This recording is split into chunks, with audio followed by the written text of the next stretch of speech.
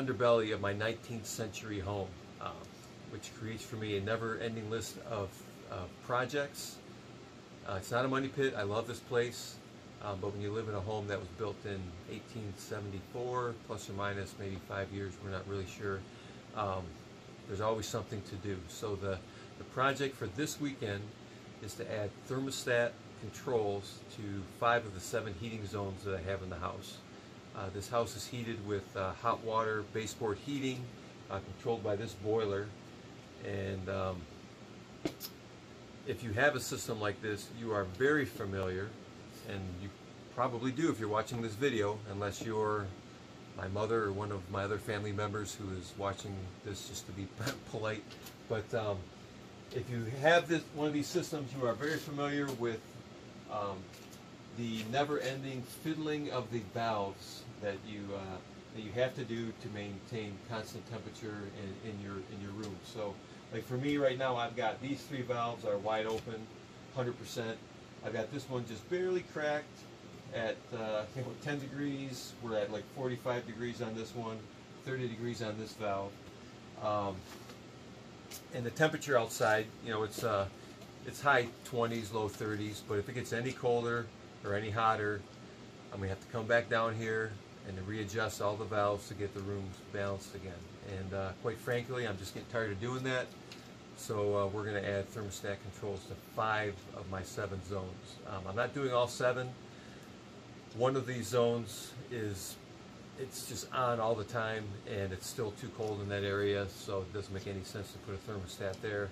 And then my other zone is for an uh, dining room addition we put on, and that has um, heat in the floor that's uh, controlled by this system over here, and it's got a mixing valve, um, and I can I can control the temperature through that circuit uh, independently. So it just doesn't make a whole lot of sense to put a thermostat there. Plus, that room is wide open to two other rooms that I'm controlling with thermostats already. So you know, again, just be kind of overkill. So I'm only doing five of the seven zones, but hopefully once we're done, um, it is going to make my life a little bit easier and save me uh, a lot of trips uh, down here uh, into the dungeon. So let's um, let's head upstairs and look at the components that I'm going to use to uh, to make this happen.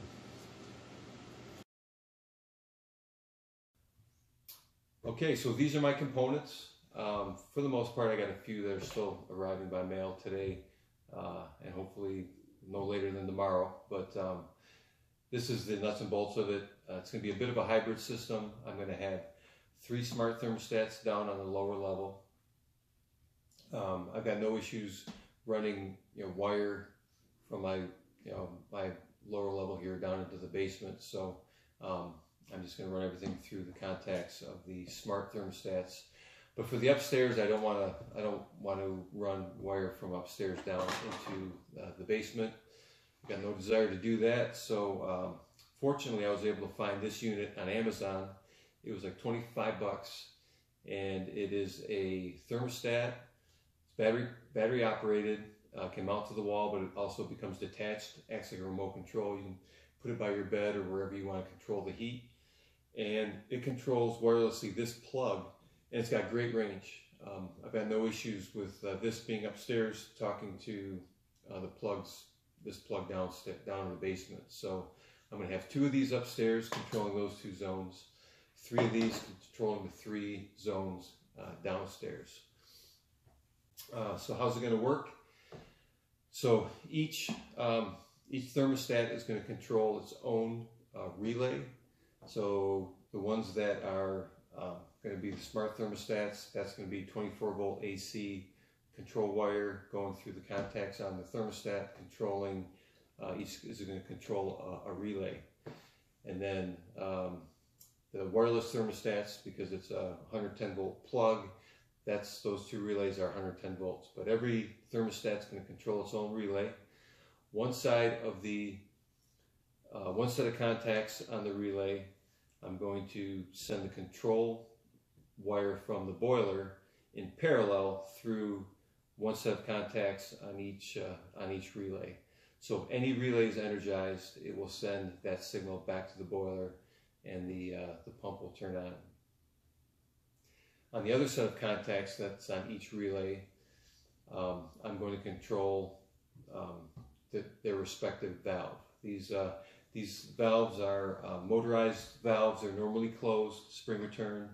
Uh, uh, Honeywell makes these. I've had one uh, in my system for about two years now, and it works great. I've had no issues, so I decided just to, to stick with these.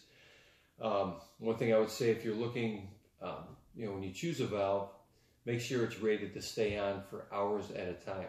I, uh, when I was putting this project together, I tried to cheap out and I bought uh, one of these valves off Amazon. It was like $15 and I plugged it in for about a half hour and it got so hot I couldn't even touch it. Um, I was definitely not comfortable putting that uh, in my system. Um, so I would just say, you know, when you choose a valve, just make sure it can stay on uh, for hours at a time. So I'm using these Honeywell valves. I will put the part number um, and part numbers for everything will be in the in the notes if you want to use my components. Um, and yeah, so each one will be uh, energized by the other set of contacts in the relay. Um, I'm going to have a 24 volt transformer in the box that's going to supply power um, to these. And then to connect them into the system, I'm going to, these are, uh, these are sweat connections. I'm going to sweat in um, maybe, I don't know, three, four inches of uh, three quarter inch copper uh, pipe into the ends of each, uh, each valve. And I'm going to connect it into the system using these SharkBite style connectors. Um, I got these off supplyhouse.com. I want to say they were like three, 350 a piece. And you know, I want to be able to service or replace these valves if I need to, so I'm going to use these. They're rated for up to 200 degrees. The water in my boiler comes out, you know, maybe at 220, 230, but every this will all be on the return side of things. So by the time the, the water goes through the system and gets down to the valve, it'll be, you know, under the under 200 degrees, and um, I'm not worried about using these in the system. So that is how I'm going to connect them into my um, into my piping. And I guess the only other thing I would say um, is you probably know if you notice there's actually two sets of leads coming out of these valves. One is to control the motor that opens up the valve, but then the other one is basically a, a switch that energizes when the valve is open.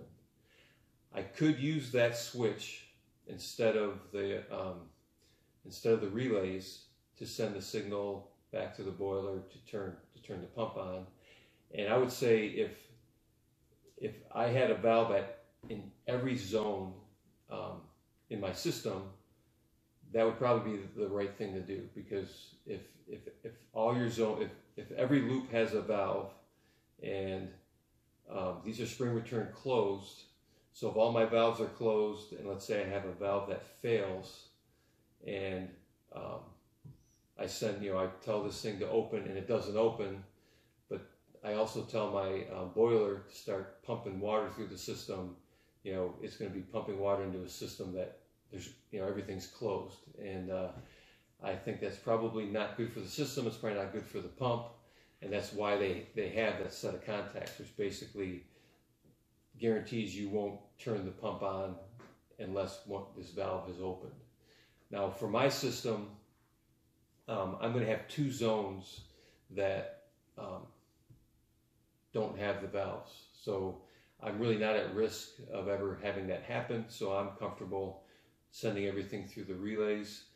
From a troubleshooting standpoint, you know, for me, you know, I, I kind of like having things go through the relays. So if I ever have an issue, I can just look at the relays and see if they're being energized. It'd be a little more, a little more difficult, in my opinion, to troubleshoot if I was using the um, the switches that are in the valves. However, like I said, if you have a system where all of these could be closed and you could shut down, you know, shut off the whole system, then I think that would be the right thing to do. So, um, anyway, I think that's uh, that's it by way of explanation, and uh, so I think we're just ready to start putting things together.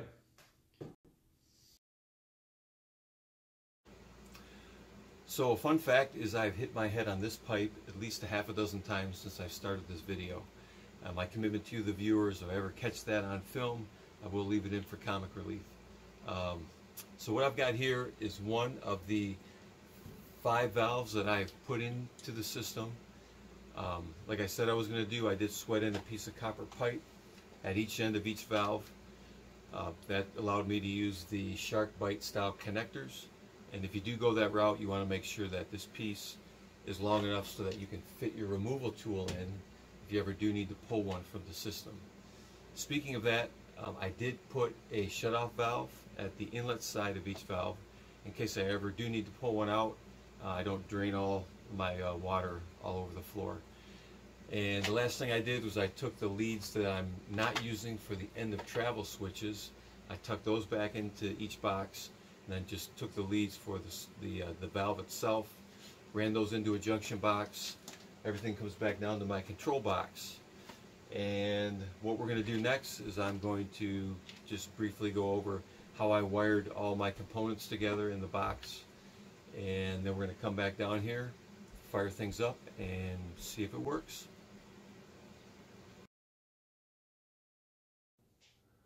Okay, so here's the circuit. Um, it's pretty straightforward. Um, I've got 120 volts coming into the box and it is going to be energizing uh, both of these plugs as well as this transformer. I've got these plugs tied together and I've got the transformer also tied into the uh, plug circuit. So 120 volts is energizing both plugs and the transformer. These are my wireless uh, switches that um, are controlling the two zones upstairs. And either one of these is energized, it will be energizing these uh, 110 volt uh, coils. On the 24 volt side, I've got um, one leg of my 24 volt from the 24 volt transformer coming into one side of the coil, each coil.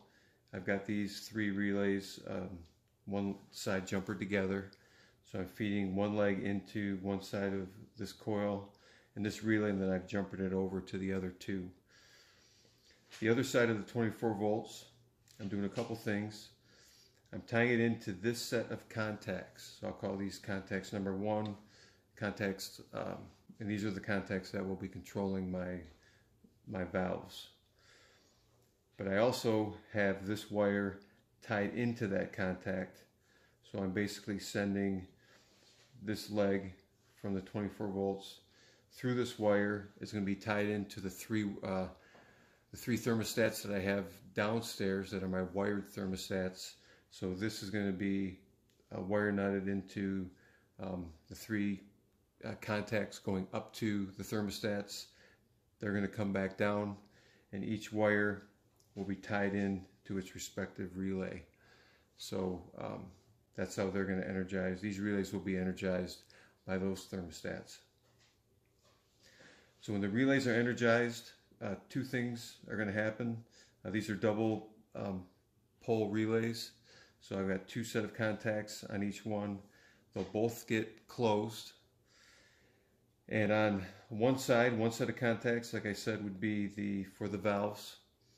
And what I'm doing here is I'm sending the one leg of the 24 volts through this set of contacts.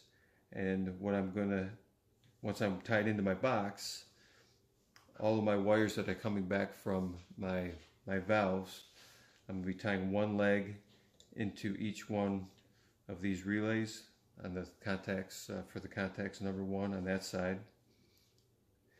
And then for the uh, um, other side of those uh, those valves, those switches for those valves, they're all going to be wire nutted into to this wire, which is tied into the other side of the 24 volts.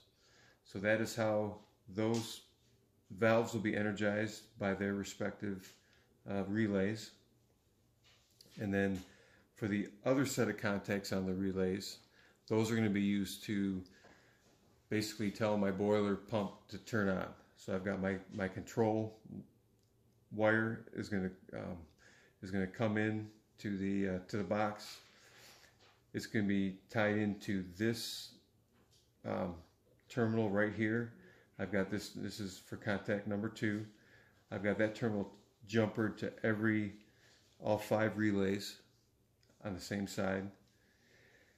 And then when that is closed, that signal is going to come out of of that side and I've got all of those wires that are going to be tied in together. I'm going to be wire nutted.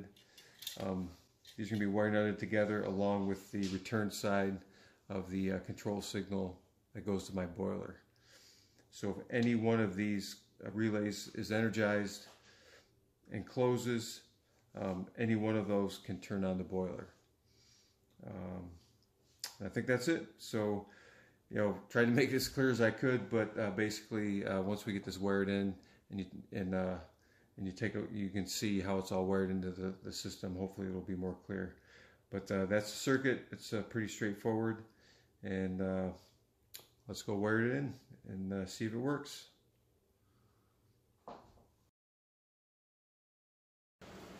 Okay, here it is. I'll I'll wire it in, powered up, and actually, believe it or not, it's actually working. So. Um, real pleased with how this turned out.